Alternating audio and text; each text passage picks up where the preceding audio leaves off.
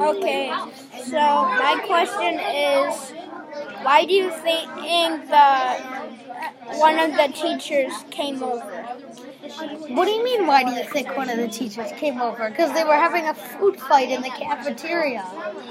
I know, but like, a why a like I know they a they would uh, probably tell them to stop doing it, but it, it like a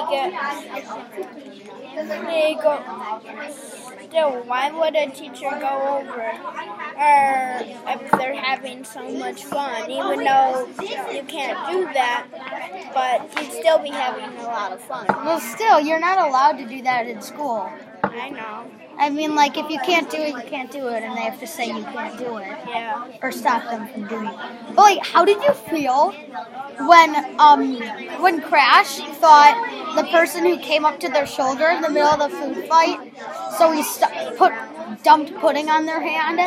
Of how did you feel after he said it was a teacher? I was like, because I was like, what? Yeah. Okay, like so, so busted.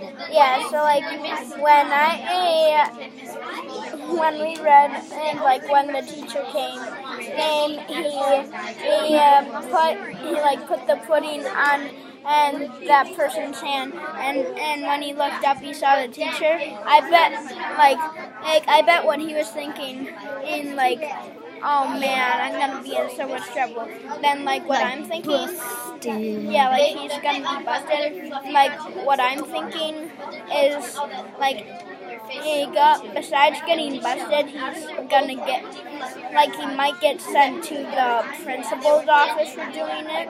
Obviously, and, and also they said, eh, well, no.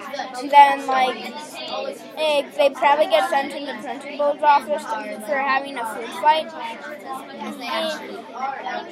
do you have anything else to say?